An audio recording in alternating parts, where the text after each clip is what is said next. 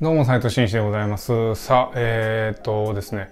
えー、ちょっと私今ですね、9月のちょうどね、えー、もう終わり頃でございますけれども、執筆の方をしております。あの、執筆なんて言うと聞こえがいいですけども、まあ、なんて言うんですか、オーディション用に、えーえー、頑張ってネタを仕上げてるみたいなもんです。言ってしまえばね。あの素人なんで、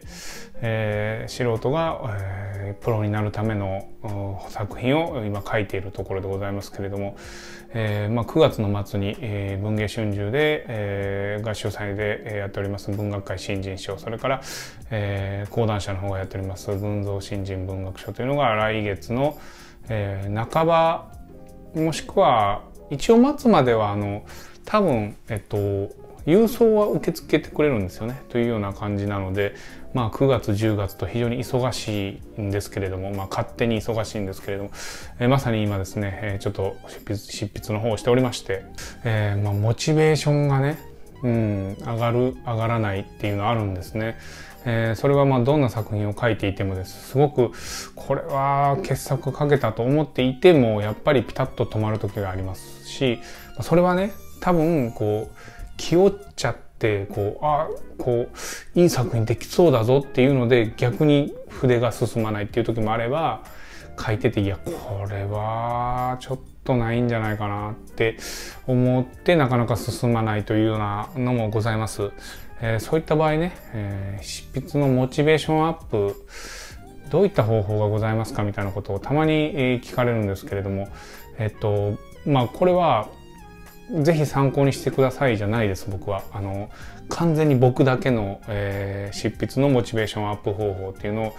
お教えしようかなというふうに思ってるんですけれども。あのねそれはねもう本当に、えー、僕がその芸人になりたいとか小説家になりたいとかってこう思った時にやっぱ憧れですよね。憧れ。こういう人に少しでも近づきたいと思ってこうその人になりきる、うん、みたいな、えー、部分が非常に、えー、僕はありまして、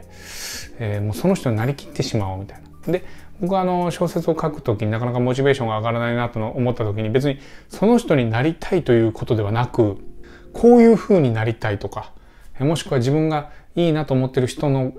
やってるような環境っていうのに憧れるというようなこと。まあ、今で言えばね、YouTube なんかで小説家の方とかもたまにね、執筆してる様子とかをアップしたりしてるんで、そういうのを見るっていうのはどうかなと思うんです。僕が、えー、昔からよくやっていたことは、これは執筆に限らずネタを作る時にもそうなんですけども、なかなかモチベーションが上がらないなと思った時は、創作している人の様子をえー、ね、記録したものを見る。もう一番僕がよく見ていたのは、情熱大陸です。えー、チャチャチャチャチャーですよね。チャチャチャチャラチャチャーです。あれを見ると、あ、あこんな家でボケっとして人はダメだと。ね。えー、やっぱ思いますよ。あのー、まあ僕がよく見てたのは百田直樹さん。えー、決して好きな人物ではないんですけれども、あのー やっぱり創作をしてるところを切り取ってみるとやっぱりプロなんでね、えー、あの人は雑然としたもう本が積まれたような汚い部屋で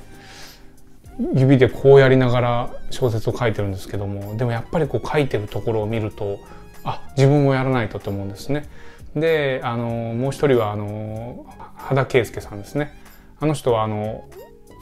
すごくこう多分嫌だったんだろうなと取材を受けてるのかという態度だったんですけどもやはりあの人もこう書いてるようなところを見たりするとあちょっと頑張らないといけないなというふうに、えー、思うんですよね、えー、だからやっぱり僕はそういう情熱大陸で小説家の最近あんましないんですよね小説家の方とか。脚本家の方もたまに昔取り上げてたんですけども、えー、そういったようなね執筆をされる方とかこうパソコンでバーッとこうやってるところを見るとやっぱりあ自分もやらないとと。自分がねドキュメンタリー番組にこう取材を受けてると思ってくださいよ。家でゴロゴロしながらねポテチ食いながらですよ。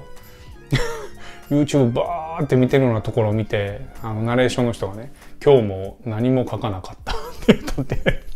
誰が見んねんそんなもんっていうねことですか。らやっぱりこうなんて言うんですかね。マインドを変えてというか、スイッチを切り替えて、えー、ああ、自分はもう今、今日は情熱大陸にずっと密着されてるんだと思いながら、えー、やるとかね、そういう動画を見て、あちょっと切り替えようって言って、やるっていうのが僕のモチベーションアップの方法でございます。皆さんいろいろあると思いますけれども、私の執筆のモチベーションアップ方法は、情熱大陸を見るということなのでね、もしよければ参考にしてください。はい、というわけで今日は以上でございます。どうもありがとうございました。